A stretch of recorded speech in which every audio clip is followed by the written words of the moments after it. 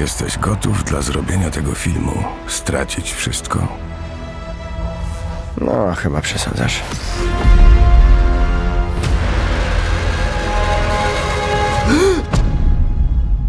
Skończyłem się jako reżyser. Nie wiem, co mam robić w swoim życiu. Po co to wszystko było? Mam za sobą pasmo samych klęsk. Jedynym ptakiem, który atakuje orła jest kruk.